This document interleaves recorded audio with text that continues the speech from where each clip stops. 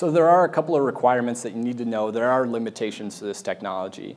Um, first one, uh, the user has to have your app.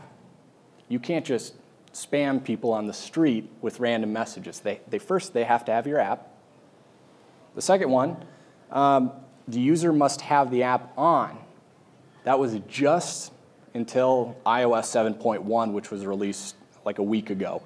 That's no longer the case. So scratch that one off, which is great. It, it's reducing friction for you know, this iBeacon experience.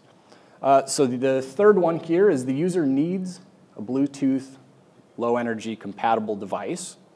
From then, they need the Bluetooth on. And then the user needs to opt in to receive these iBeacon messages. So with great power comes great responsibility kind of deal.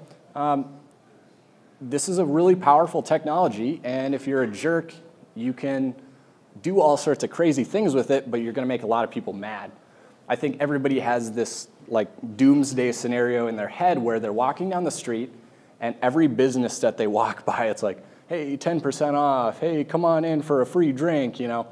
Nobody wants to experience that. But people do want to walk by their favorite businesses and have the option to receive those messages. So maybe as I walk by a Starbucks, I can get a reward when I walk by it, but only if I choose to do that. So, kind of my three rules here are don't spam the shit out of people, uh, don't send repeat messages. So, let's say that you're inside a Best Buy, don't send them the welcome message four times.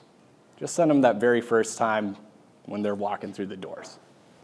And most of all, uh, provide value. You know, give the user something that's meaningful to them, and they're going to respect the service that you're providing. And they're not going to delete your app.